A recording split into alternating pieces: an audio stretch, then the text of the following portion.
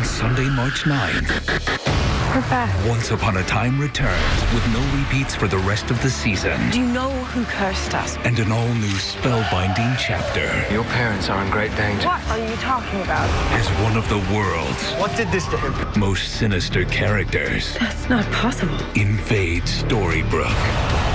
Once Upon a Time returns all new this March and see full episodes now on Watch ABC Online or download the app.